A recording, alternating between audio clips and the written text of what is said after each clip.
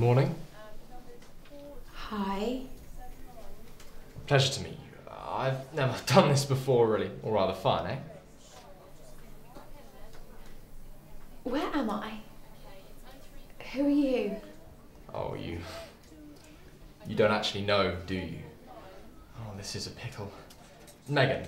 I may call you Megan. You're dead. The car? The car. Megan Nolan, born 23rd of November 2000, killed on the 31st of March 2018, run over by a Ford Fiesta. Squish. Oi, don't talk about it. Relax. Have some tea. You had a boyfriend, I see. Yeah? What about it?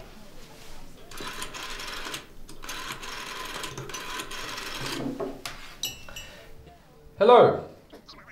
Yes, I'd like to do a loyalty check on a Miss Megan Nolan. Yeah, we've just had in from London. Ah, no, she was hit by a car. No, no, she was she was looking at her phone. Yes, you'd think they'd learn. Did you find anything? Ooh. Oh dear. Uh, no, I'll I'll pass on the news. Yes, no, thank you, thank you.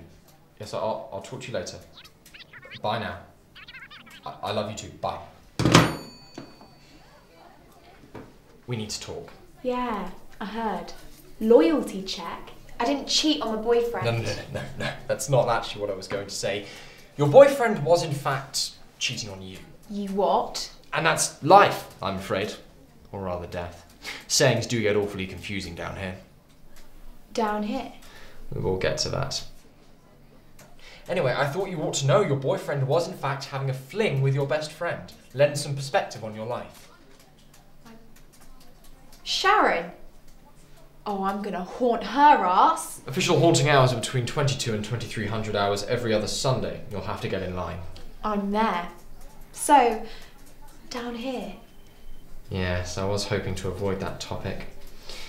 It says in your documents that you were an atheist. Oh shit. Oh shit, indeed. You see, I play badminton with God every Wednesday afternoon, and let me tell you, he can be one spiteful prick. Just ask all the people we had in from that terrible flood. Anyway, the point is that this isn't heaven or paradise or whatever you want to call it. This is, in fact, hell. So I'm here because I'm an atheist. Oh lord, no, that's one of many reasons. Many reasons.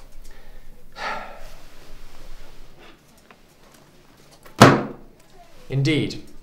Modern man really should read the Old Testament more often. If only they knew. Alright. So, this is hell. Doesn't seem so bad. No, I suppose you're expecting lava and brimstone, chains and torture and whatnot. Well, yeah. I suppose so. This all just looks so modern.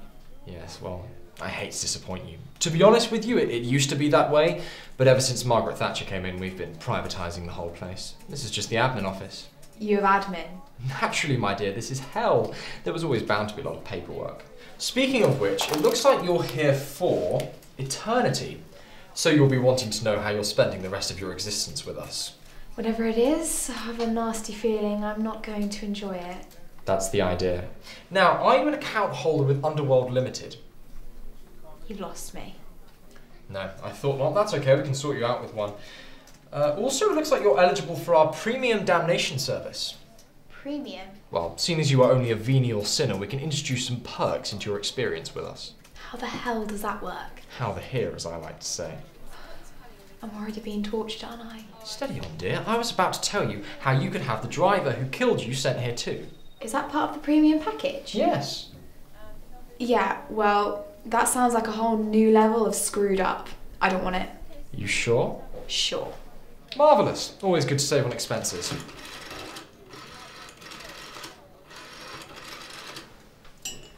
Hello. Yes, it's me again. Yeah, we've got another one with a flaming wheel. Yeah, she's in my office. Lovely. Thank you. Wait, what happens now? Do the words flaming wheel mean nothing to you? Have a nice eternity. What? No!